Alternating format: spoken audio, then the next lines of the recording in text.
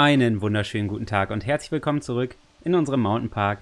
Wie ihr seht, ist es mal wieder am Regnen und wir befinden uns gerade in unserem neuen Herrera-Gehege. Und die haben sich sehr, sehr gut eingelebt und haben ganz, ganz tolle Namen von euch bekommen. Ihr habt richtig viele Namensvorschläge wieder in die Kommentare geschrieben. Und ich würde sagen, wir machen diesmal mal die ja, Namen mal zuallererst. Und dann nehmen wir am besten mal hier die kleine Schlafmütze als erstes. Das ist hier der Alpin, ist es, glaube ich, ne? Oh, die sind so klein, ich klicke die am besten an. Genau, das ist der mit dem Alpin-Muster. Der hat den Namen Loki bekommen von euch. Der rennt aber ganz schön schnell. Das ist ja krass. Also sind wirklich schnell unterwegs. Ähm, der nächste hat den Namen Drogon bekommen. Dann haben wir den grünlichen hier. Das ist äh, Charlie geworden. Äh, in, in, den Kommentaren wurde, glaube ich, geschrieben, der grünlich-schwarze. Aber ich denke mal, damit war dieser hier gemeint. Ich glaube, das ist der einzige, der grün mit in seiner Farbe hat. Also ich hoffe, ich habe den richtigen gewählt. Dann haben wir mit dem Wüstenmuster Fritz. Das ist so mit mein Lieblingsmuster, glaube ich, mit dem grünlichen. Aber ich finde die eigentlich alle sehr, sehr cool. Und zu guter Letzt haben wir Harald. Das ist der, ja, schwarz, dunkel, braun. Ja, sehr, sehr dunkle ha äh, Herrera auf jeden Fall. Oh, die sind hier gerade am Schnacken miteinander, so wie es aussieht. Okay, egal. Also, sie haben sehr, sehr schöne Namen von euch bekommen. Äh, vielen, vielen Dank dafür. Hier hinten fährt schon die Bahn lang. Das sieht echt cool aus hier, ne? Dass die Stützen hier so äh, länger werden und so. Also, es gefällt mir schon sehr, sehr gut. Der Teil des Parks ist auch echt schick geworden. Aber mir ist schon äh, eine Sache aufgefallen, die ich vergessen habe. Und dieser wollen wir uns jetzt auch gleich als allererstes widmen. Und zwar, wie kommen wir hier am besten nach unten? Weil hier unten ist ja noch mega viel Platz. Hier kriegen wir vielleicht zwei Gehege, vielleicht ein Gehege, was groß ist. Ähm, aber ich habe mir nicht überlegt, wie ich hier nach unten komme, weil hier ist alles verbaut. Vielleicht könnte ich hier runterbauen oder irgendwo hier hinten lang, weil ich weiß sonst echt nicht, wie ich hier am besten runterkomme. Ich würde sagen, ich überlege mir mal was und dann äh, ist das die erste Sache, der wir uns heute widmen. So Leute, ich denke mal, es macht am meisten Sinn, wenn wir irgendwie uns hier noch runterschlängeln, weil das ist relativ die Mitte vom Park. Und äh, es macht bestimmt mehr Sinn, das hier von der Mitte aus, des, also von der Mitte des Parks aus hier runterzubauen, als von hier ganz hinten oben links in der Ecke. Weil hier oben links werden wahrscheinlich nicht so viele Leute ankommen. Ähm, aber dafür müssen wir wieder richtig, richtig viel mit dem äh, Glättentool arbeiten. Das heißt, ich werde wieder sehr viel rausschneiden, weil das ist einfach eine sehr frickelige Angelegenheit immer. Ja, ihr seht ja, aber es klappt hier eigentlich gerade ganz gut. Ähm, wir müssen jetzt eigentlich nur hier hinten so ein bisschen Durchgang schaffen. Also hier ist ja schon mal recht gut. Das könnte sogar schon reichen. Aber jetzt müssen wir halt hier noch einen Übergang schaffen. Das können wir sogar vielleicht eben schnell zusammen hinkriegen. Das klappt hier echt erstaunlich gut. Das hätte ich gar nicht gedacht. Ähm, hier oben will ich eigentlich nicht absenken. Soll eigentlich so bleiben. Das ist immer äh, sehr, sehr schwierig mit den Tools hier. Aber man kriegt es hin. Man muss nur geduldig sein. Ähm, ja, das sieht doch schon gut aus. Jetzt können wir vielleicht mal eben mit dem Tool hier nochmal ein bisschen in die Breite gehen. Der Weg nicht ganz so schmal ist. Und dann können wir, glaube ich, gleich schon überglätten. Ich glaube ja. Das könnte dann schon funktionieren. Dann haben wir eventuell einen glatten Weg nach unten. Dann hätten wir sehr schnell eine Lösung gefunden, was sehr, sehr cool wäre. Ich glaube, das ist hier schon wirklich sehr, sehr gut. Hier ist es natürlich ein bisschen eckig, aber das macht da an der Stelle gar nichts. Hier kann ich gleich auch nochmal überglätten. Aber wir machen jetzt erstmal den Weg hier runter. Dafür müssen wir hinten den Zaun entfernen. Und müssen wahrscheinlich hier die Fläche auch nochmal ein bisschen ja, anpassen. Den Zaun lasse ich mal das Stück da. Hm. Also entweder lassen wir die Fläche so und lassen einfach hier den Weg abgehen. Ist wahrscheinlich die einfachste Lösung, ne? Müssen wir am wenigsten umbauen und so. Könnten natürlich auch so einen dicken Weg nehmen. Das können wir eigentlich machen. Wahrscheinlich das einfachste. Guck mal, hier können wir sogar durch die Stützen durchbauen. Das ist sehr gut. Ganz leicht geschwungen würde ich schon gerne machen, aber ich mache nochmal eben das Stück hier weg. Das kann nochmal ein bisschen mittiger sein.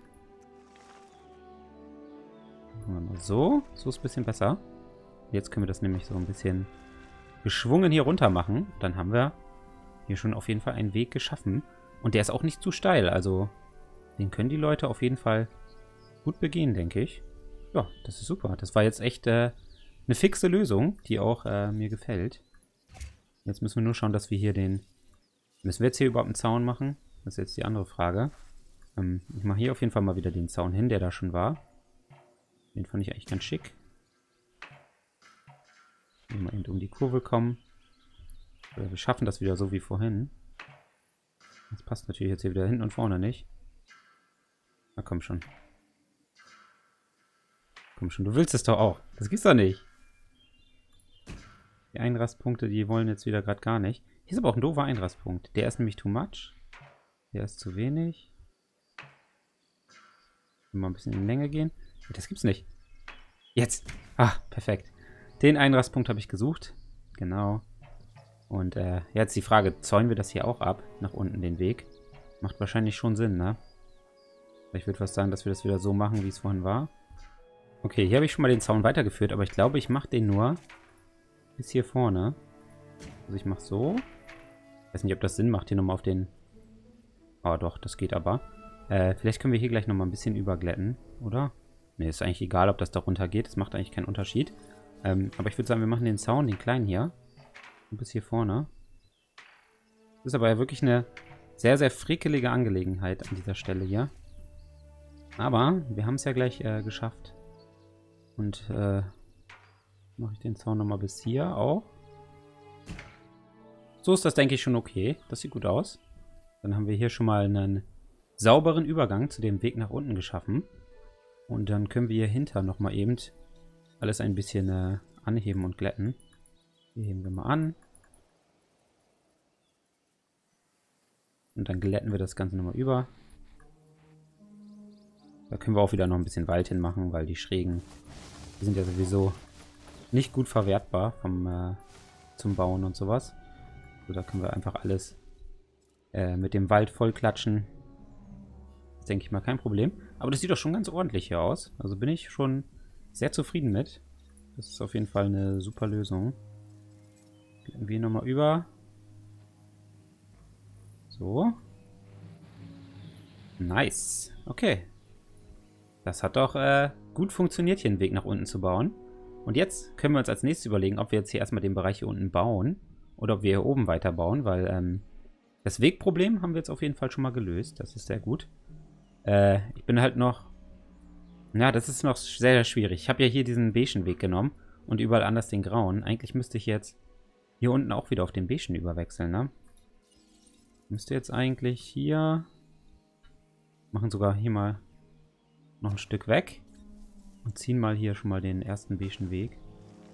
Mach mal so schräg. Und dann gucken wir mal, was sich ergibt. Also wenn ich jetzt hier den Übergang mache, würde das dann aussehen. Na, das würde aber ordentlich aussehen. Das ist ja schon mal gut. So, machen wir mal so. Und dann hier unten werden wir, glaube ich, wieder mit beige bauen.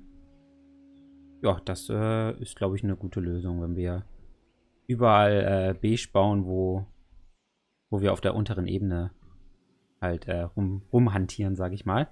Ähm, ja, die Frage ist, wie machen wir das jetzt? Also wir müssen erstmal dann hier eine Gehegeaufteilung finden. Wir müssen uns überlegen, ob wir noch ein Hotel hinklatschen und sowas. Also den Platz müssen wir halt sehr sinnvoll nutzen. Okay, wenn ich ehrlich bin, will ich hier auf jeden Fall einen großen Fleischfresser hinmachen. Und zwar habe ich da schon einen im Kopf. Denn ich möchte gerne, den habe ich nämlich noch in keinem Park gemacht, sogar der erste hier oben, den Acrocanthosaurus machen. Der ist ja auch neu gekommen mit dem äh, Carnivore DLC. Und den möchte ich sehr, sehr gerne hier in dem Park unterbringen. Ähm, aber die Frage ist, der ist ja gar nicht mal, also der wird ja nicht so viel Platz brauchen. Also vielleicht können wir hier entweder zwei Gehege machen oder wir machen hier noch einen Hotelkomplex und sowas hin.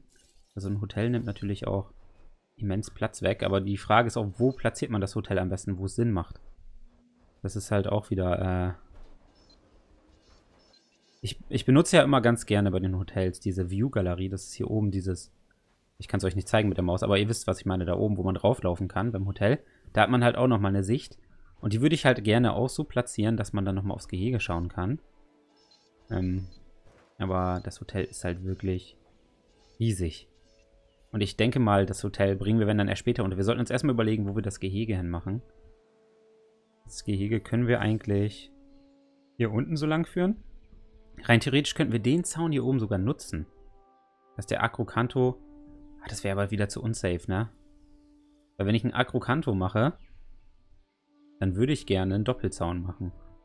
Einfach aus Sicherheitsgründen. Wenn der dann hier oben anlaufen kann. Ich meine, da ist noch Abstand zum Weg. Das wäre halt schon... Also es ist, es ist gerade äh, sehr zwiegespalten. Ich würde halt gerne mit einem Doppelzaun arbeiten. Das heißt, ich würde gerne also so machen. Und dann nochmal so einen anderen Zaun. Natürlich alles in Elektro wahrscheinlich bei einem Fleischfresser. Ähm, so würde ich gerne das komplette Gehege machen, mit so einem Doppelzaun. Einfach, weil das äh, mehr Sicherheit ja, verstrahlt und irgendwie so ein bisschen realistischer ist. Aber dadurch geht halt auch wieder viel Platz verloren. Und ich könnte eigentlich hier oben halt rangehen. Hm, ich muss mir das mal ein bisschen durch den Kopf gehen lassen. Okay, Leute, ich habe jetzt folgende Idee. Ähm, ich werde hier vorne, werde ich den Zaun und die Schräge auf jeden Fall nutzen. Hier werde ich auch ein Gehege machen, mit Pflanzenfressern aber. Mal schauen, welche wir da nehmen. Und wir versuchen das Acrocanto-Gehege hier unterzubringen. Ähm, wir müssen dann mal schauen, wie wir das hier machen, ob das dann noch genug Platz ist, weil hier müssen auf jeden Fall noch irgendwie entweder ein Hotel hin oder ein paar Läden oder so. Aber ich würde sagen, wir machen jetzt erstmal das äh, Agro-Gehege. Und dafür machen wir erst den inneren oder den äußeren Zaun. Das ist jetzt die Frage. Eigentlich macht der äußere mehr Sinn, aber ich weiß nicht, ob das dann so gut funktioniert. Ähm, wir versuchen natürlich, möglichst nah hier am Rand zu fungieren. Ich möchte aber auch nicht so am Rand bauen und so stückeln, dass das Gehege eine komische Form hat. Also das will ich auf jeden Fall vermeiden. Könnten auch hier auf die Schräge gehen natürlich noch, ne? Aber dann sieht der Wald so abgehackt aus. Wenn ich jetzt hier einen Zaun reinbaue, ist halt der Wald, hat dann immer so eine Lücke drin. Weil man halt Bäume leider, leider nicht direkt an einem Zaun bauen kann. Was echt doof ist.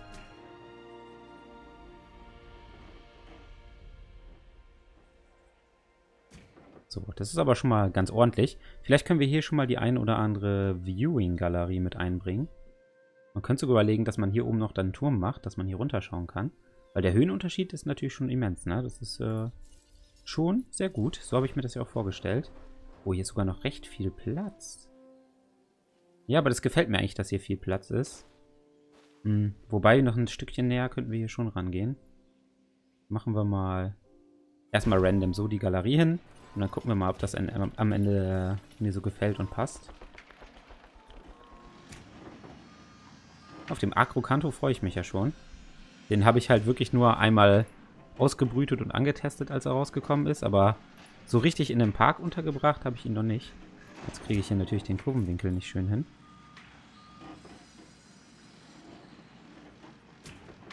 Ah, so ist in Ordnung. Ähm, genau, dann machen wir hier mal eben... Ich weiß jetzt auch nicht, wie das vom Platz her ist. Also der braucht natürlich ein bisschen mehr Platz. Ist ja ein großer Fleischfresser. Aber ich will jetzt hier auch nicht so verschwenden, den Platz.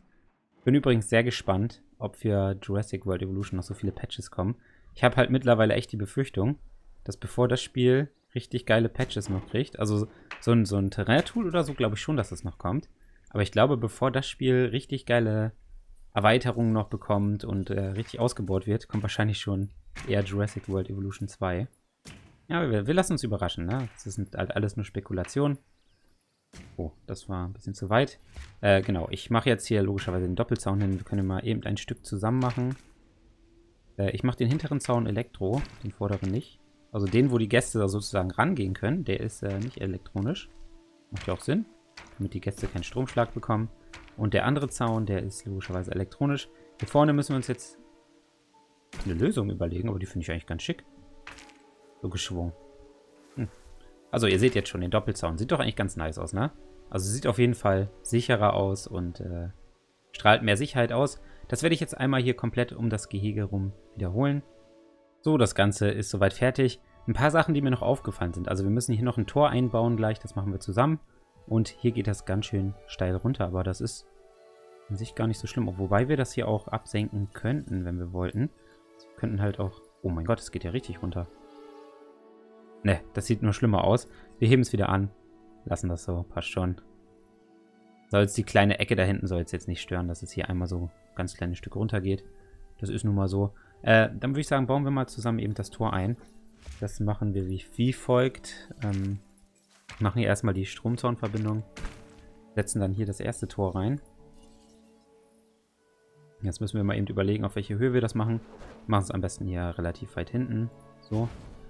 Und äh, das zweite Tor, das muss auf jeden Fall mit ein bisschen Abstand dann kommen. Ich glaube, so ein Doppelabstand reicht schon. Also so.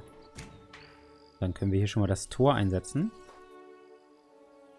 Versuchen jetzt auf die gleiche Höhe zu packen. Wunderbar. Das hat gut geklappt. Und dann müssen wir jetzt hier noch eine vernünftige Verbindung zu dem anderen Soundstück äh, schaffen. Ich würde es natürlich auch noch näher ranmachen, aber das soll halt so ein... Also es, erstmal würde es, glaube ich, gar nicht gehen, wenn ich es näher ranpacke. Und es soll halt so ein Schleusensystem sein, was äh, sowieso nicht funktioniert, weil immer beide Tore gleichzeitig aufgehen. Aber im Prinzip soll eigentlich erst das erste Tor aufgehen, dann fährt der Jeep rein, dann geht das Tor zu und das Tor geht auf. Und dann kann der Jeep wieder safe rausfahren. Also das ist so eigentlich der Gedanke dahinter. Hm, hier mache ich auch mal einfach an der Seite Elektro. Sicher, sicher. Und hier mache ich einfach so. Und so. Und dann haben wir hier... Ah, ich weiß nicht. Oder mache ich das... Äh, könnte auch gerade jetzt hier reinmachen, natürlich, wenn das hier geht. Ich glaube, ich mache das einfach mal gerade. Dieses geschwungene... Irgendwie gefällt mir das nicht so. Ja, das ist gut. Super, hat geklappt. So, jetzt haben wir unseren, unsere Torschleuse sozusagen hier eingebaut. Und damit ist unser nächstes Gehege fertig. Und ich finde, so ein Doppelzaun bei einem Fleischfresser ist echt immer eine schöne Sache. Also gefällt mir optisch sehr, sehr gut, so ein Doppelzaun. Nimmt natürlich noch einiges äh, an Platz weg. Aber ihr seht schon, wir haben hier noch ein bisschen Platz. Also wir müssen jetzt gucken. Also ich weiß nicht, ob wir hier oben noch ein Gehege hinkriegen. Vielleicht so ein längliches sogar, einfach nur auf der Schräge mal. Ich meine, wenn wir die richtigen Dinos nehmen, dann könnte das funktionieren. Aber wir müssen natürlich auch noch hier einige Läden und so hinklatschen. Mal schauen. Aber ich würde sagen, wir widmen uns jetzt hier erstmal dieser Wegfläche. Die Frage ist, wie machen wir das jetzt?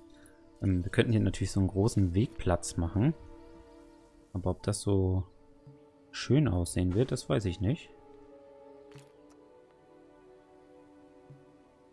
Mal so. Wir auf jeden Fall schon mal die Galerie mit eingebunden. Was, wie wäre es denn, wenn wir jetzt hier so machen? Wie würde das denn aussehen? Das ist wahrscheinlich eine zu große Fläche hier, ne? Hm. Ich würde ja gerne hier so den Platz echt nutzen. Wäre geil, wenn wir hier... Oh, vielleicht kann ich das sogar wirklich machen. Schau mal. Also wenn wir hier wirklich die Wegfläche ausfüllen. Ich glaube, viel mehr Möglichkeiten haben wir hier nicht. Aber wenn wir dann dafür vorne wird jetzt wieder ordentlich Fummelarbeit hier, dass wir das gut hinbekommen. So, das darf auch nicht zu schmal sein, das ist wichtig. Äh, hier muss ich auch mal eben so einen Zweierweg draus machen. Zumindest ungefähr. So. Dass wir hier vorne so wieder so ein kleines Wasserbecken machen oder sowas. Ich weiß nicht, ob das jetzt hier vorne noch passt von der Kurve her. Geht aber noch, ne? Oder geht es da schon... Nee, das passt. Super.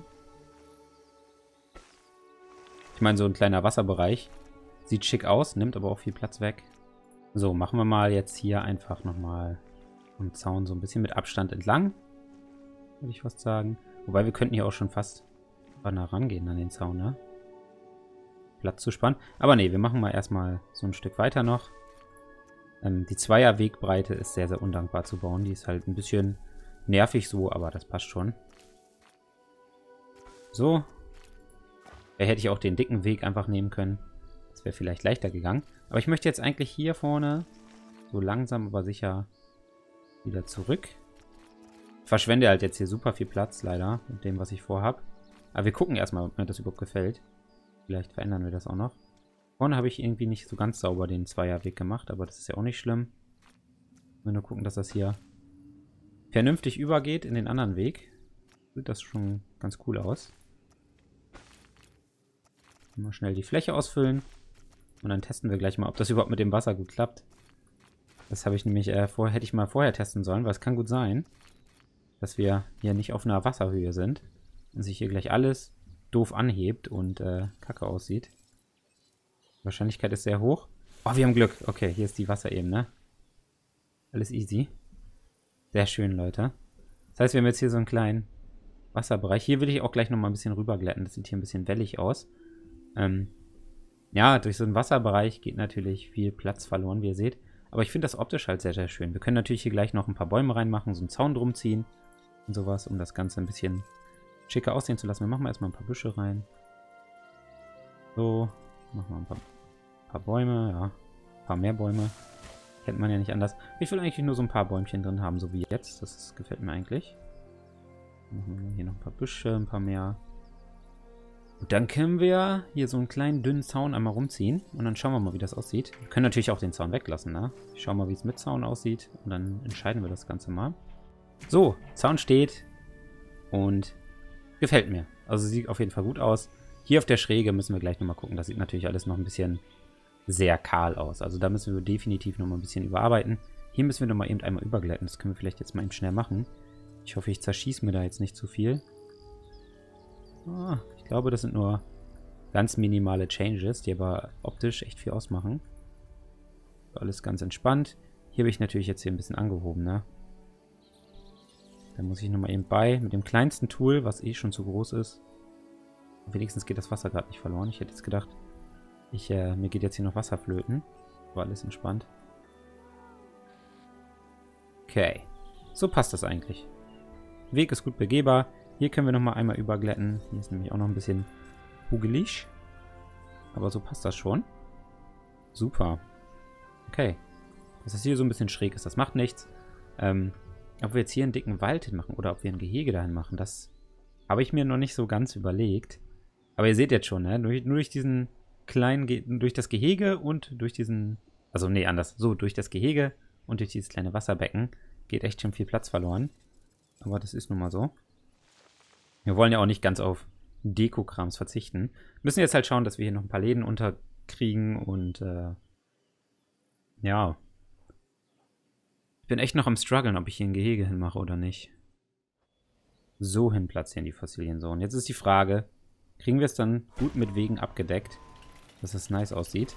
Wahrscheinlich eher nicht, ne? Wird bestimmt äh, sehr, sehr schwierig. Da fängt es nämlich schon an. Also wir könnten auf jeden Fall so schon mal machen. Dann könnte uns dieser Einrastpunkt hier eventuell... Oh, das tut er sogar. Sehr gut. Hier vorne können wir natürlich gleich nochmal gucken, dass wir das eh gefixt kriegen, dass es vernünftig aussieht. Dann schauen wir doch mal hier.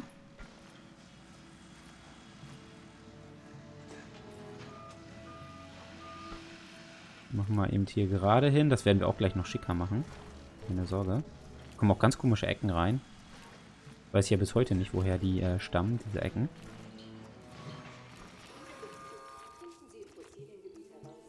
Okay.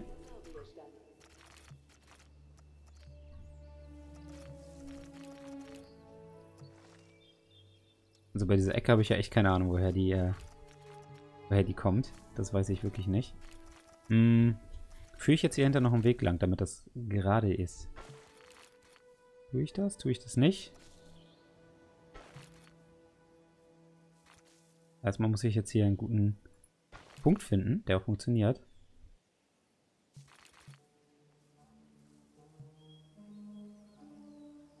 Trotzdem die Ecke drin, ne? Echt kein Plan, woran das liegt. Hier diese Ecke, keine Ahnung, wie die immer zustande kommen. Jetzt würde ich die gerne vermeiden. Also, so sieht das Ganze jetzt von oben aus. Regnet leider jetzt gerade. Ähm, Finde ich eigentlich ganz schick. Nimmt halt nur super viel Platz weg. Also die Fläche, so wie ich sie jetzt hier gebaut habe, das ist natürlich immer nicht so optimal, dass es so viel Platz wegnimmt. Und ich, äh, ja, ich zweifle gerade daran, dass ich hier noch ein gutes Gehege unterkriege. Also ich glaube, das mit dem Gehege, das können wir uns äh, abschminken. Ein Hotel wäre aber auch noch schön hier unterzukriegen. Das wäre sogar machbar. Aber hier beim Tor... Hm.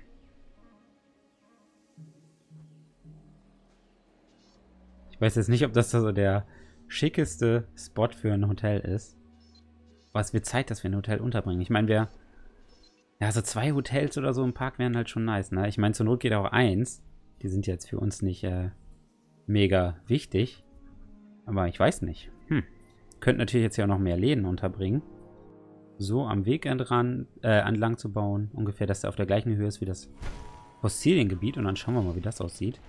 Ähm, da haben wir hinten noch ein bisschen Platz. Dann können wir gleich mal gucken, was wir da noch hinbekommen. Und ob wir das hier überhaupt mit den Wegen gut hinbekommen. Das ist erstmal die wichtigere Frage. Wie sieht denn das hier so aus? Also hier hat man das Fossiliengebiet. Dann da hinten. Vielleicht können wir hier auch einfach weiterführen, dass wir hier noch mehr Läden hinmachen, Leute. Dann haben wir hier nochmal so eine kleine Einkaufsmeile. Ich weiß nicht, ob wir hier zwei oder drei hinbekommen.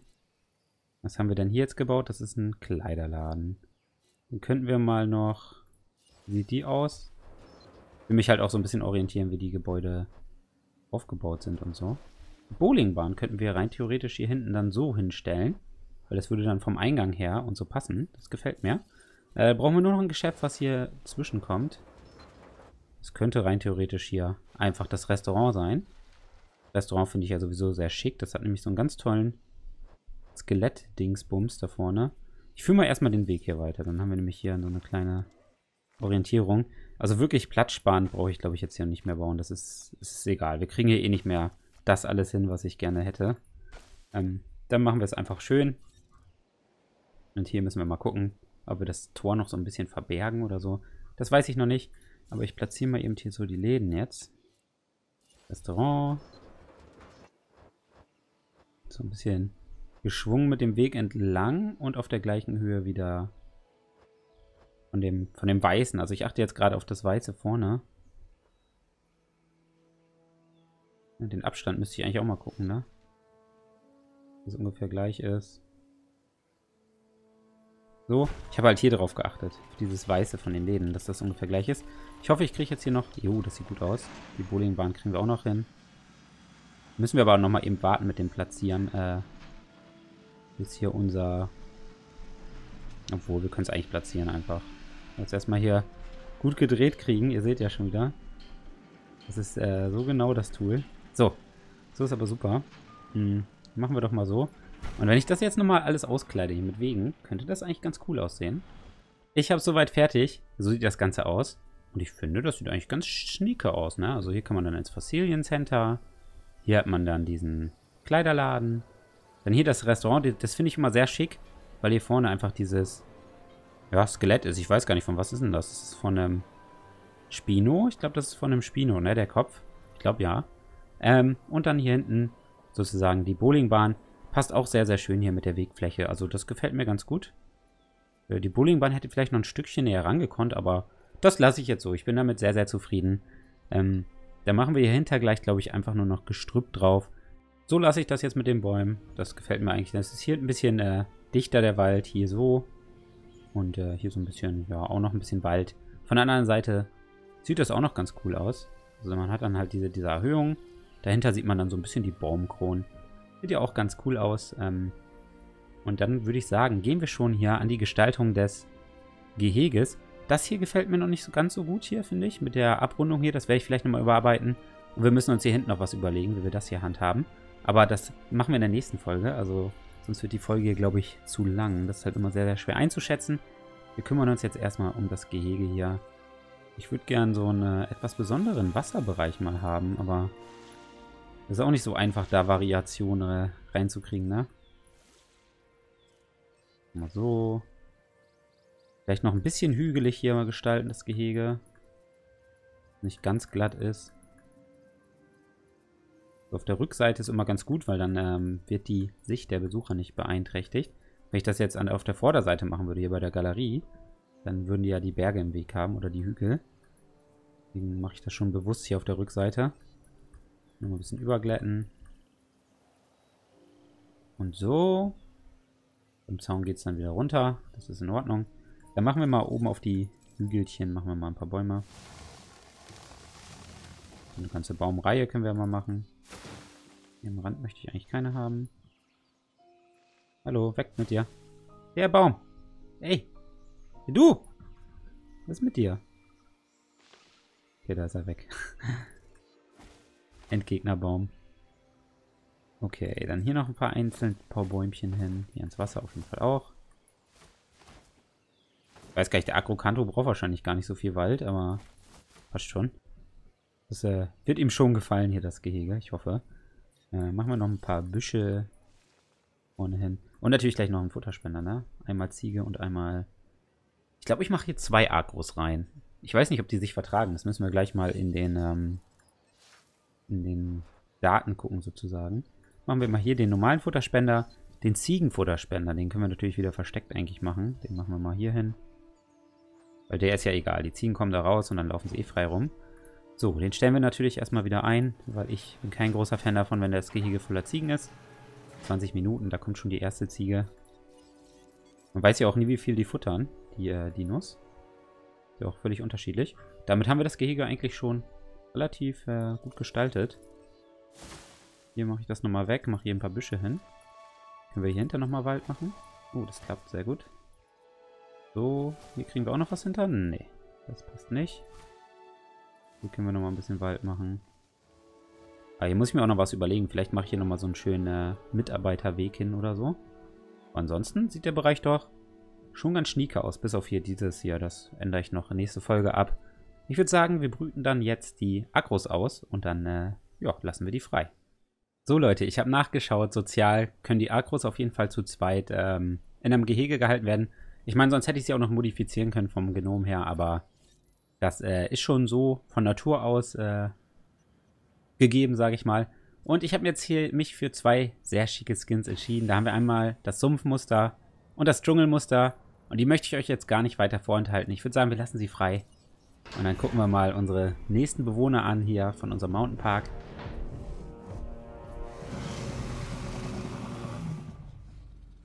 Einen sehr, sehr dumpfen Schrei, finde ich. Also der ist nicht so laut. Kleine Fettsack. Sehr viel Hängebauch hier hat. War witzig. Aber der Skin ist ultra schick, oder? Also der gefällt mir echt sehr, sehr gut. Das war jetzt, glaube ich, Dschungel oder was? Ich glaube, das war Dschungel, ne? Also der ist wirklich sehr, sehr nice, der Skin. Mag ich sehr gerne. Und dann würde ich sagen, lassen wir den anderen frei. Das ist... Ah, nee, das ist nicht Dschungel. Welcher war es denn dann? Sumpf, ne? Dann war das Sumpf. Genau, das war Sumpfmuster. Also das ist das Sumpfmuster. Und jetzt haben wir noch als zweiten den Dschungelmuster-Skin. Schauen uns den natürlich auch nochmal an.